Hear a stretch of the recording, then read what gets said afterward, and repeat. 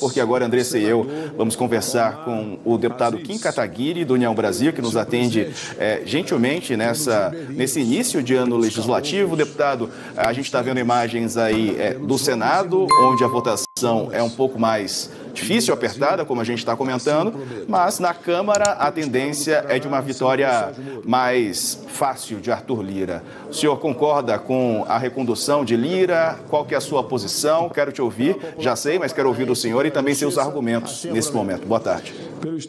Boa tarde, é, Diego. Boa tarde, Andressa. Na verdade, o meu posicionamento é de que nós deveríamos ter na presidência da Câmara dos Deputados alguém que fizesse oposição a essa agenda de retrocesso econômico que tem sido imposta pelo governo Lula, né? Seja o aumento de 180 bilhões de impostos, como nós já tivemos aí parte disso na medida provisória que institui o voto de qualidade no CARF, seja na investigação né, de ministros aí, seja ligados com milícia, seja envolvidos em escândalos uh, envolvendo o orçamento secreto. Nós precisamos de uma Câmara uh, que fiscalize, que controle, mas infelizmente essa não deve ser a postura do presidente da Câmara, Arthur Lira, que teve o apoio do Partido dos Trabalhadores e que deve ser um facilitador uh, para o governo Lula dentro da Câmara dos Deputados, não tanto quanto foi para Jair Bolsonaro, acredito eu, mas ainda assim um sujeito que deva pautar as matérias de interesse do governo.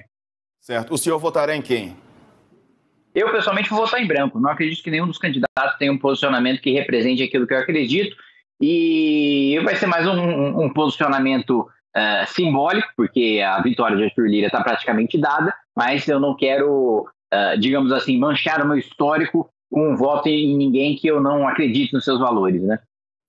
É, deputado, é, o senhor reforçou bastante aqui o quanto é, a vitória é praticamente certa de Arthur Lira, mas ele não se contenta com isso, ele busca aí uma vitória expressiva, ele quer inclusive bater recorde de votação. Qual é o impacto disso? Qual é a consequência dele ter essa votação expressiva, esse recorde, durante os anos de mandato dele? O que, que isso representa? O que, que ele pode colher com isso? Quanto mais votos Arthur Lira tiver, mais fraco fica o governo Lula, porque mais poder o presidente da Câmara dos Deputados vai ter de exigir cargos e de exigir emendas para mobilizar a sua base de deputados para votar junto com o governo. Né? O núcleo duro né, de, esquerdas dentro da, da Câmara dos Deputados que apoiam o governo em qualquer hipótese é de 140 deputados. Nós podemos somar isso a uma bancada mais fiel ao PT, que é a do MDB e do PSD, e isso daí cerca de 240 deputados. Eles precisam do apoio de mais deputados, principalmente do PP e do PL, muito ligados ao presidente da Câmara, Arthur Lira, para conseguir aprovar suas matérias. Se ele sai muito fortalecido dessa eleição, sem dúvida nenhuma, vai utilizar esse poder para uh, exigir mais do governo Lula para votar as matérias né, que sejam de interesse.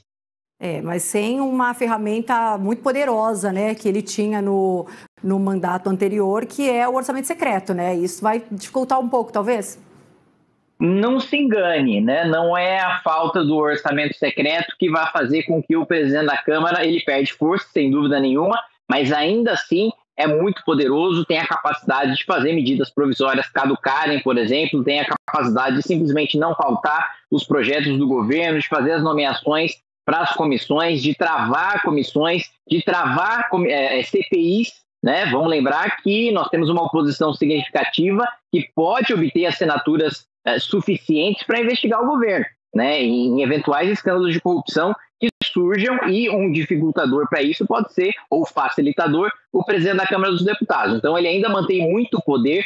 Pós-governo Bolsonaro, Bolsonaro ele deixou muito espaço, um vácuo de poder que foi ocupado pelo Legislativo parte desse vácuo de poder é, é o orçamento secreto, a execução do orçamento, mas outra parte ainda permanece com o parlamento e, portanto, é, um, um, número significativo de votos, principalmente se bater o recorde histórico, dá força, sim, para Arthur Lira ter mais poder de pressionar o governo.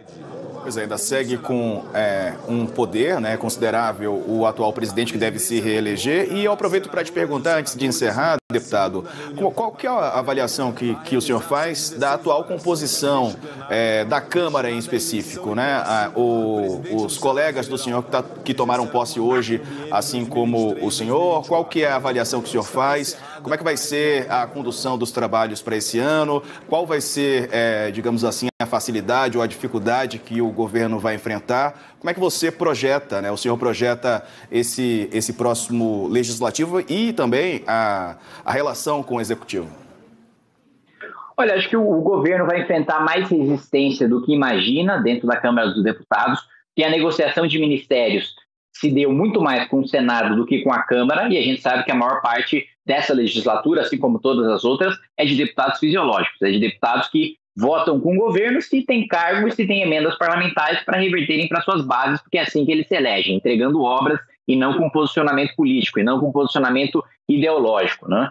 Uh, me parece que a, a, maioria construída na Câmara dos Deputados pelo governo é muito frágil, né? que os três ministérios uh, para o PSDB, para o PSD, para a União Brasil, muitas vezes contemplam mais o Senado do que a Câmara dos Deputados. Muitos deputados oposicionistas, é o meu caso, né? de meu caso de mais uh, pelo menos 15, 16 colegas no União Brasil que vão fazer oposição ao governo abertamente, independentemente de ter ministro ou não, criticando e inclusive representando na Justiça ou no Tribunal de Contas ou na Controladoria Geral da União os próprios é, membros do nosso partido que ocupam é, cargos na esplanada dos ministérios. Então, uh, o governo não deve ter uma vida tão fácil assim, principalmente para pautas polêmicas como aumento de imposto, como o que eu tenho chamado de Ministério da Verdade, que é a Procuradoria é, da Advocacia Geral da União, ou mesmo a Secretaria da Verdade, criada agora no Ministério, na Secretaria de Comunicação, na SECOM.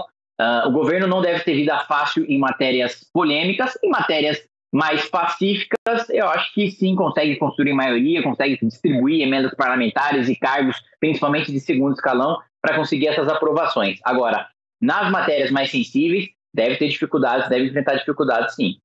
Tá certo. Kim Kataguiri, deputado federal é, pela União Brasil, obrigado por nos atender hoje. Um abraço e boa sorte aí no trabalho que começa, recomeça hoje. Um abraço, estou sempre à disposição para prestar contas. Obrigado, deputado. O capeta já ofereceu seus serviços para você em algum momento? O sentimento de culpa de estar tá gerando um desgaste, porque quem escolheu disputar a eleição, quem escolheu seguir a carreira política, fui eu, né? Não foi minha família. Você tem orgulho de ser brasileiro, Kim? Mesmo com esses defeitos? Você acha que você merecia mais reconhecimento pelo seu trabalho? Primeiro, uma sensação muito grande de injustiça, né, das pessoas me colocarem como colocarem o monarca como nazistas e não tinha nem, absolutamente ninguém defendendo o nazismo. Kim, qual é hoje o seu maior medo? Eu acho que era muito jovem para é, perder o pai. para perder o pai.